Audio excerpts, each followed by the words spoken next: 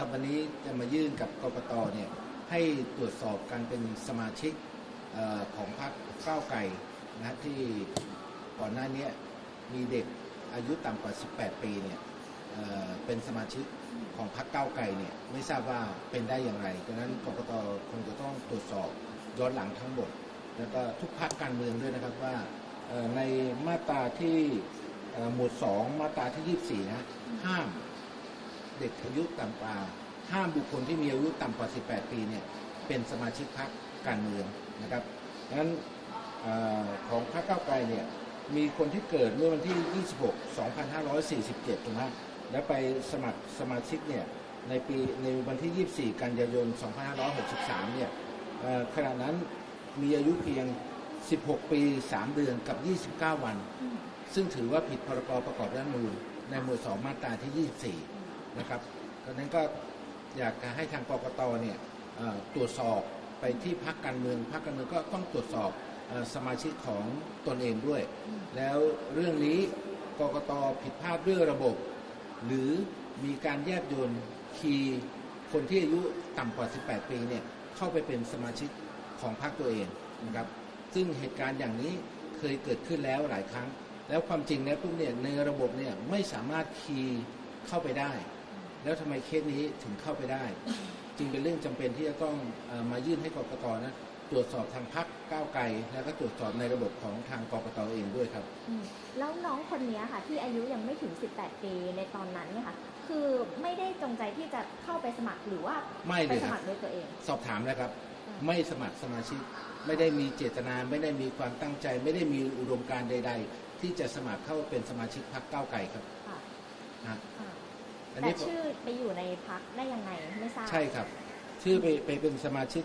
เอ่อพรรคก้าวไกลเนี่ยในสารระบบเนี่ยถ้าเซิร์ชเข้าไปดูเนี่ยก็ก็จะเจอนะฮะก็จะเจอในในสารระบบนะครับ อันนี้ฮะเป็นบัตรประชาชนเขานี่ต้องต้องขออนุญาตเขาไม่ประสงค์ที่จะออกสื่อนะฮะ ค่ะ แล้วก็ในสารระบบของกกตอันนี้นะครับอยู่ในสารระบบ ของกกตคือมีชื่อน้องเขาอยู่ในนั้น มีชื่อครับแล้วมีในชื่อนั้นมันระบุอายุไหมคะในในในในนี้ไม่ได้ระบุอายุอืมในนี้ไม่ได้ระบุอายุค่ะนะฮะอันนี้เป็นเรื่องบังเอิญที่เจออ๋อเพราะว่าสอบถามเขาเขาบอกไม่เคย ไม่เคยเป็นสมาชิกพรรคก้าวไกลอืมอืมนะครับ ไม่เคยเป็นสมาชิกพรรคไหนนะครับ อันนี้ก็เลยเป็นหลักฐานซึ่งตั้งข้อสังเกตว่าเอ่อเกิดเหตุการณ์อย่างนี้ขึ้น ถ้าเกิดเหตุการณ์อย่างนี้ได้รายหนึ่งปุ๊บเนี่ยถ้ามีรายแรกเนี่ยสองสามสี่ เป็นสิบเป็นร้อยเป็นพันก็น่าจะมีโอกาสเป็นไปได้ แล้วตัวของน้องคนนี้เขาไปรู้ได้ไงคะว่าตัวเองมีชื่ออยู่ในเป็นสมาชิกอยู่ในพรรคก้าวไกล คือคือบังเอิญนะบังเอิญเป็นเรื่องบังเอิญจริงค่ะ ๆคือผมเนี่ยไปไปคุยกับเขาค่ะ แล้วก็เชิญเขาเข้ามาเป็นสมาชิกพรรคทางเลือกใหม่ ก่อนที่ผมจะเชิญเข้าสมาชิกพรรคเนี่ย ผมจะถามว่าเคยเป็นสมาชิกพรรคไหนก่อนหรือเปล่า อืม เขาบอกไม่เคยไม่มีไม่เคยเป็นสมาชิกพรรคไหนเลยถูกไหมฮะ ผมก็ขอบัตรประชาชน ว่านั้นขอตรวจสอบหน่อยอืมพอตรวจสอบเสร็จปุ๊บเนี่ยขึ้นว่าเคยเป็นสมาชิกพรรคก้าวไกลเลยเขาก็ตกใจนั้นพอผมมาดูว่าเขาเป็นตั้งแต่โอ้ยเป็นมาตั้งหลายปีแล้วนี่อืมก็เลยตามไปดูว่าเมื่อเป็นหลายปีแล้วเนี่ยเขาอายุไม่ถึง 18 เป็นได้อย่างไร นี่คือต้นขายปลายเหตุ ซึ่งทำให้ผมไปเจอโดยบังเอิญไม่ได้มีเจตนาที่จะมาใส่ร้ายพักก้าวไกล ไม่มีเจตนาที่จะทำร้ายใครเพราะพรรคก้าวไกลก็สาหัสอยู่แล้วเวลานี้ถูกไหมแล้วเรื่องนี้ก็คงไม่เป็นประเด็นที่จะไปล้มล้างเขา แต่มันเป็นประเด็นที่ผมในฐานะที่เป็นหัวหน้าพักการเมือง และก็เป็นนักการเมืองในสังคมปัจจุบันเนี่ยผมต้องการทำให้ระบบของนักการเมืองเนี่ยถูกตรวจสอบและก็คานอำนาจกันอย่างตรงไปตรงมานะครับวันนี้ก็ไม่ได้มากล่าวร้ายกรกตไม่ได้มากล่าวร้ายพรรคก้าวไกลใด ๆ ทั้งสิ้น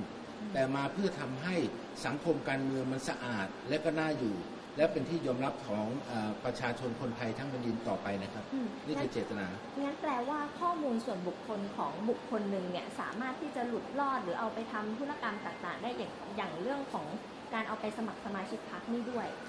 ผมนำเรียนนะครับ เรื่องเหล่านี้เกิดขึ้นจริง ๆ แล้วพักทางเลือกใหม่เนี่ยเคยเจอกับตัวเองนะครับว่าขนาดเป็นเลขาธิการพักทางเลือกใหม่ ยังถูกนำบัตรประชาชนที่ขาดอายุแล้ว มายื่นใบลาออกที่กกต และกกตก็คีย์ออกให้ด้วยนะครับขนาดมีตำแหน่งเป็นเลขาธิการของพรรคทางเลือกใหม่นะครับกกตคีย์ออกให้เลยนะครับ บัตรประชาชนขาดนั่นมีการเก็บบัตรประชาชนปรากฏว่าสอบถามเลขาผู้การแล้วเขาบอกเขาเคยไปทำธุรกรรมเต็นท์รถยนต์ เต็นท์รถยนต์คงเก็บบัตรเขาไว้ แล้วก็มีนักการเมืองบางคนเนี่ยที่ไม่ที่ไม่ชอบมาพากล เพราะว่ามันมีกฎกติกามารยาทว่า ถ้าครบ4ปีแล้วถ้ามีไม่ครบ1 0,000เนี่ยถูกไหมก็เป็นเหตุอาจจะต้องถูกยุบพัก เมื่อสถานการณ์บีบบังคับนี้ก็จะไปเก็บบัตรประชาชนใครก็แล้วแต่เนี่ยเอามาสมัครเป็นสมาชิกของพรรคตัวเองได้ โดยที่เจ้าตัวไม่รู้ตัวครับอ๋อหมายความว่ามีการใช้ชื่อของใครก็แล้วแต่ไปสมัครเป็นอ่าก็ปลอมลายเซ็นคป็สมาชิกก็เซ็นเองอะไรเองจ่ายค่าเอ่อสมัครเองให้เสร็จเรียบร้อยหมดเลย ลักษณะนี้มีครับ ตัวอย่างอืมตัวน้องเขาให้ข้อมูลกับท่านยังไงบ้างก็ยืนยันว่าไม่เคยสมัครเป็นสมาชิกพรรคก้าวไก่ ไม่เคยลงลายมือชื่อค่ะนะครับ ไม่เคยไม่ไม่เคยติดต่อนิติสัมพันธ์อะไรกับพรรคก้าวไก่แล้วมันมันข้อมูลเนี่ยมันหลุดรอดออกไป เข้าไปอยู่ในระบบของพรรคก้าวไกลได้อย่างไรครับพคือจะทราคืบอไหมตัวเนี้ยผมไม่แน่ใจว่าบัตรประชาชนของน้องเขาเนี่ยไปได้อย่างไรอืมนะครับ เพราะว่าเขาไม่เคย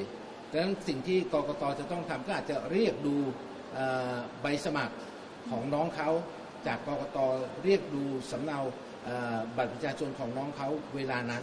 ซึ่งพรรคการเมืองทุกพรรคต้องเก็บต้องเก็บหลักฐานอย่างพรรคทางเรื่องใหม่ก็ก็เก็บไว้หมดครับ ใครที่มาสมัครกับพรรคทางเรื่องใหม่ใบสมัครบัตรประชาชนนะครับ เราเก็บไว้ครบถ้วนสมบูรณ์แบบ เนื่องจากว่าเราเคยมีประเด็น เราเคยมีประเด็นเรื่อง ตอนปี 62 มีการเลือกตั้ง 62 นะครับ มีการสมัครซ้ำซ้อนเป็นสมาชิกซ้ำซ้อนกัน สิ่งเหล่านี้ปุ๊บเนี่ยทางกกตเนี่ยเคยให้ผู้สมัครที่ซ้ำซ้อนเนี่ยมาขอใบสมัครจากพรรคทางเลือกใหม่พรรคทางเลือกใหม่ก็เก็บแล้วก็ส่งให้สมบูรณ์แบบที่สุดครับ เรามีระบบการเก็บเอกสารเนี่ยเป็นขั้นเป็นตอนดังนั้นตรวจสอบได้ สมาชิกของพรรคทางเลือกใหม่ใครจะตรวจสอบตรวจสอบได้เลยครับทั้งทางตรงและทางอ้อม โดยความจริงปุ๊บเนี่ยที่กกตเนี่ยจะตรวจสอบสมาชิกเนี่ยก็เข้าไปที่ Google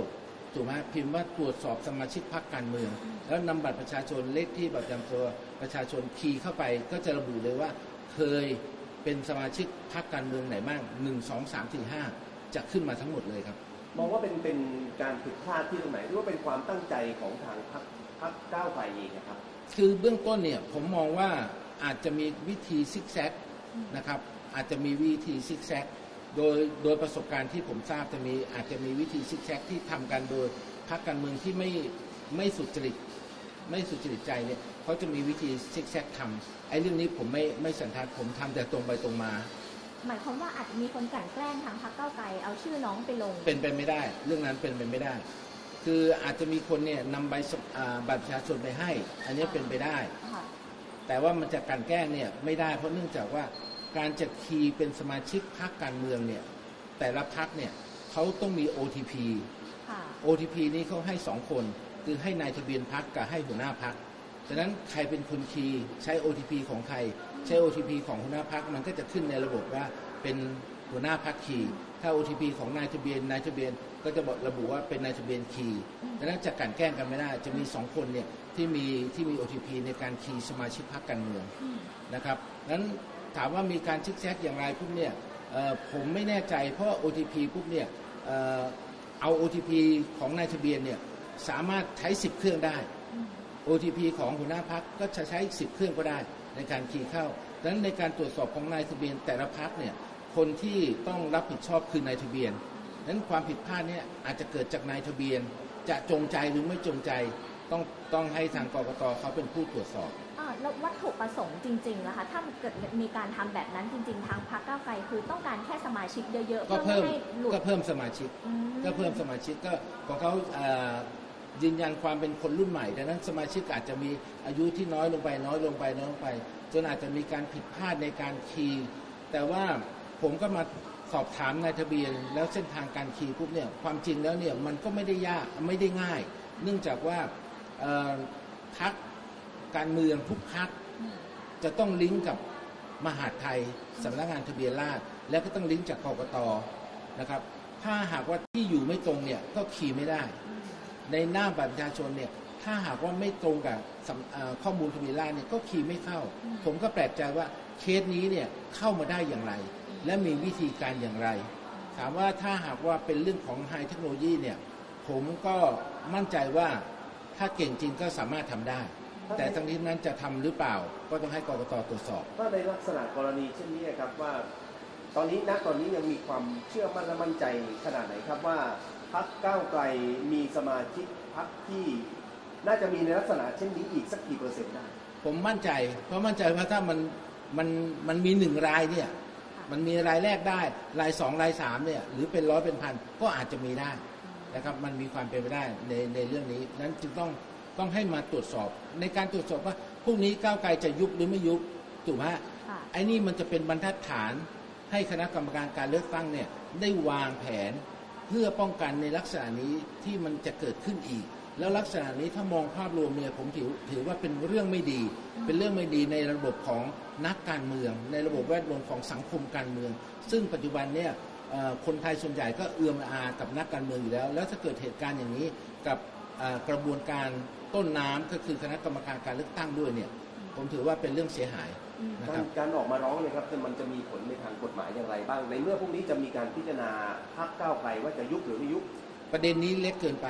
อืมแต่ว่าที่ออกมาร้องวันนี้ก็คือต้องการให้มีการตรวจสอบ วางระบบป้องกันไม่ให้เกิดเหตุการณ์ลักษณะนี้ขึ้นมาอีกนับตั้งแต่นี้ไปสู่อนาคต นี่คือเจตนาที่แท้จริง เพราะว่าเอ่อ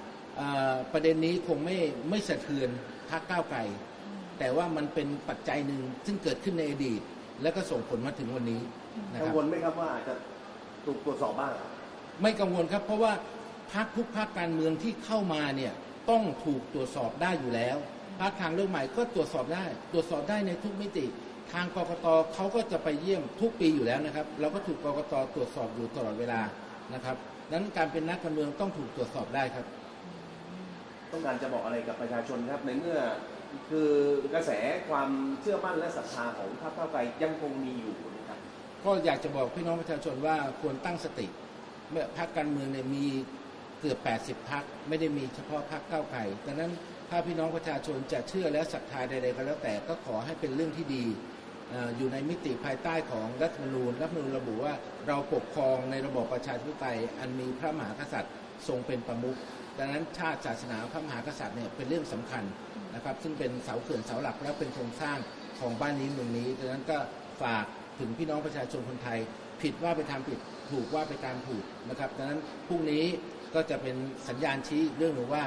ผิดหรือไม่ผิด ถ้าไม่ผิดศาลจะตัดสินให้ผิดเป็นไปไม่ได้ แต่ถ้าผิดและจะตัดสินให้ถูกก็เป็นไปไม่ได้ เช่นกันดังนั้นก็ฝากพี่น้องประชาชนครับว่าศาลเป็นที่พึ่งสุดท้าย ของพี่น้องประชาชน และยังเป็นเสาเขื่อนเสาหลักสำคัญของบ้านนี้เมืองนี้ครับขอเพิ่มประเด็นที่หนึ่งในวันพรุ่งนี้ครับที่จะมีการยุบพรรคก้าวไกลนะครับ การยุบไม่ยุบพรรคก้าวไกลมันจะมีผลดีกับไม่ไม่ดีกับในทางการเมืองอย่างไรบ้างครับเพราะว่าตัวท่านเองก็มั่นใจว่าร้อยเปอร์เซ็นต์ล้านเปอร์เซ็นต์ว่าออกมาบอกอยู่ด้วยว่าก้าวไกลถูกยุบแน่นอนขอบคุณสำหรับคำถามนำเรียนอย่างนี้ครับว่า เมื่อสักครู่บอกว่าถ้าไม่ผิดเนี่ยไปยุบเขาไม่ได้ค่ะถูกไหมฮะเพราะมันจะไม่เป็นผลดี แต่ถ้าผิดแล้วไม่ยุบมันก็เป็นไปไม่ได้ เพราะมันก็จะไม่เป็นผลดีดังนั้นศาลเป็นที่พึ่งสุดท้ายของพี่น้องประชาชนคนไทย ถ้าศาลบอกว่าผิดศาลต้องมีหลักการและเหตุผลอธิบายให้กับพี่น้องประชาชนทราบและก็เข้าใจถูกไหมฮะถ้าบอกว่าไม่ผิดศาลก็ต้องอธิบายในคำตัดสินว่าเเหตุผลใดๆใช่ไหมที่ไม่ผิดแล้วจึงตัดสินให้เขาไม่ถูกยุบพัก ถ้าถูกยุบพักก็ต้องมีคำอธิบายว่า หลักการและเหตุผลในการที่ศาลตัดสินว่าผิดถูกไหมฮะเพราะอะไรถึงผิด ถ้าผิดก็ต้องยุบพักเพราะวันนี้เขายื่นให้มีการยุบพักถูกไหมฮะถ้าผิดก็ต้องยุบพักถ้าไม่ผิดก็ยุบเขาไม่ได้ มันมีสองอย่างยุบกับไม่ยุบเท่านั้นเองครับแต่ในทางการเมืองที่ในอนาคตข้างหน้าครับจะเป็นยังไงบ้างเพราะว่าถ้าขาดฝ่ายค้านไปอย่างก้าวไกลเพราะว่าคะแนนประชานิยม หรือว่าคะแนนที่มองว่าพรรคก้าวไกลเป็น ฝ่ายค้านทำได้ทำหน้าที่ได้ดีมากเลยครับ คือในในความเป็นฝ่ายค้านเนี่ยในการยุบพักเนี่ยสสที่เป็นกรรมการบริหารพักเท่านั้นที่ถูกตัดสิทธิ์และก็หายไปค่ะแต่สสเขตสสที่ไม่ได้เป็นกรรมการกรรมกรรมการบริหารพักเนี่ยยังคงอยู่ ก็สามารถย้ายพักได้ภายใน 30 วัน ก็ยังคงเป็นฝ่ายค้านได้อีกเช่นกันดังนั้นก็ไม่ต้องน่ากังวลใดๆครับ ยังสามารถดำเนินการ ในรัฐสภาได้อย่างต่อเนื่องครับ เอาตรงๆครับ การยุบพักเป็นผลพวกพรรคก้าวไกลเป็นผลดีกับประเทศหรือไม่ดีอย่างไรการยุบพักก้าวไกลในระยะยาวเนี่ยถือว่าเป็นผลดีกับประเทศ เพราะว่าถ้ายุบเนี่ยแสดงว่าพรรคก้าวไกลผิดจริง ผิดในเรื่องของการกลั่นซ้อบททำลาย ซึ่งถือว่าการกลั่นซ้อบททำลายสถาบันพระมหากษัตริย์เนี่ยเป็นเสาเขื่อนสลักของบ้านนี้เมืองนี้ มันจะเป็นการปราม มันจะเป็นการป้องกัน ไม่ให้เกิดพฤติกรรมเลียนแบบ ออกนโยบายมากันซ้อบททำลายประเทศชาติ ผมถือว่าในระยะยาวเนี่ยเป็นผลดี ถ้าใครยังหันกล้าทำอีกก็ยุบอีกนะครับ ก็เป็นเรื่องปกติดังนั้นก็ต้องต้องฝากไว้ครับว่า ดีกับไม่ดี ผมมองว่าในระยะยาวดีกว่าครับ ส่วนในระยะสั้นเรื่องของกระแสมวลชน กระแสสภาพจิตใจเนี่ยเราก็ว่ากันไปครับ เพราะว่าคนที่เขารักถูกไหมเขาก็ยังรักดังนั้น ผู้ต้องหาหรือผู้กระทำความผิดเนี่ยไม่เคยมีใครยอมรับว่าตัวเองกระทำความผิด แม้นถูกตัดสินประหารชีวิต ก็ยังบอกว่าตัวเองเป็นผู้บริสุทธิ์นะในครับในฐานะที่ท่านเคยเป็นแกนนำกปปสกังวลใจไหมครับว่าการยุบพักก้าวไกลในวันพรุ่งนี้ถ้ามีผลออกมายุบจริงๆ แล้วจะมีมวลชนออกมาต่อต้าเอ่นอมวลชนหมายถึงมวลชนของทางก้าวไกลฝ่ายของก้าวไกลคือคือผมมองในประสบการณ์แล้วเนี่ยมวลชนของก้าวไกลเนี่ยเขาก็มีมาก แต่ว่าถ้าเขาออกมาเนี่ยทุกครั้งเนี่ยจะไม่ได้ปักหลักค้างคืน จะเป็นแฟลตม็อบจะมากกว่าฉะนั้นแฟลตม็อบเนี่ยไม่สามารถที่จะมีผลกระทบใดๆนะต่อรัฐบาลได้ดังนั้นผมเชื่อว่าถึงออกมาก็ออกมาอย่างที่เคยออกออกมาหาคดีกัน ซึ่งผมเคยพูดเสมอว่าใครคนไหนลงถนนคนนั้นแพ้ แล้วสังเกตว่าการที่ออกไปไม่ว่าจะเป็นสยามกาแฟมาบุญคลองนู่นนี่นั่น ราชประสงค์ก็แล้วแต่ ก็โดนแจกคดีกันไปเพราะออกมาแล้วปุ๊บเนี่ยจิตใจมันฮึกเหิม ไม่คำนึงถึงกฎกติกามารยาทก็จะทำผิดกฎหมายบ้านกฎหมายเมืองกปปสก็เหมือนกัน ก็โดนคดีกันไปเยอะ นั้นสิ่งที่ผมต้องมาเป็นหัวหน้าพักทางเลือกใหม่ ก็เพราะว่าเล็งเห็นเรื่องเหล่านี้ครับว่าเรามีรัฐสภามูลค่าการก่อสร้างเป็นหมื่นล้าน นั้นควรจะเป็นที่แก้ไขของปัญหาบ้านนี้เมืองนี้ครับ สุดท้ายครับวันนี้ที่มายื่นให้ทางกกตตรวจสอบ คือยืนยันว่าไม่ได้ไม่ได้เอาผิดกับทางกกตมีการเอาผิดของฝ่ายก้าไกลถ้าเกิดว่ามีการตรวจสอบข้อมูลข้อเท็จจริง รวมไปถึงมีการตรวจสอบให้ตรวจสอบทุกพรรคการเมืองด้วยครับเออใช่ครับคือวันนี้มายื่นเพื่อให้คณะกรรมการการเลือกตั้งเนี่ยนะเล็งเห็นว่าสิ่งที่ผมยื่นเนี่ยมันผิดจริงไหมถ้ามันผิดมันผิดตรงไหน ถ้ามันพลาดมันพลาดตรงไหน ถ้ามันผิดพลาดจากพรรคการเมือง ถูกไหมก็แสดงว่าคณะกรรมการการเลือกตั้ง ระบบนั้นมีช่องโหว่ดังนั้นวันนี้ให้มาตรวจสอบทั้งระบบของกกตก่อน ว่ามันเกิดเหตุการณ์อย่างนี้ขึ้นได้อย่างไร ถูกไหมถ้าหากว่าระบบดีแล้วก็ต้องไปดูว่าพรรคการเมืองเนี่ยเขาทำอย่างไรเขาถึงคีย์เข้าไปได้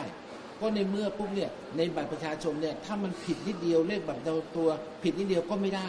ที่อยู่ไม่ตรงก็ไม่ได้ถูกไหมแล้วเกิดเหตุการณ์อย่างนี้ขึ้นได้อย่างไร ในฐานะที่กกตเนี่ยเป็นผู้กำกับนโยบายกฎกติกามายาทระหว่างกกตกับพรรคการเมืองทั้งหมด แล้วเกิดเหตุการณ์อย่างนี้สำหรับผมถือว่าเรื่องใหญ่ เมื่อเรื่องใหญ่ผมรู้แล้ว ถ้าผมไม่นำเรียนให้คณะกรรมการการเลือกตั้งทราบ และเพื่อตรวจสอบเพื่อยังประโยชน์ต่อพี่น้องพรรคการเมืองด้วยกันถูกไหมฮะที่ผ่านมาอย่างที่ผมนำเรียนว่าเลขาผมเนี่ยถูกลาออก อย่างนี้เนี่ยกรกตก็ต้องมีมาตรการว่าเฮ้ยมีเอาบัตรประชาชนเนี่ย กกตเองก็ยอมรับว่ามีเจ้าหน้าที่ของกกตนะครับ ซึ่งปกติเขาบอกว่าเป็นสมาชิกพรรคการเมืองไม่ได้ ยังเป็นสมาชิกพรรคบางพรรคเลยครับ สิ่งเหล่านี้จะป้องกันอย่างไรกกตต้องคิดอ่านนะครับ โปรแกรมที่เขียนมาเนี่ยคาดว่าใช้เงินหลายสิบล้านบาท จะต้องเซฟตี้และป้องกันได้ดีกว่านี้ครับ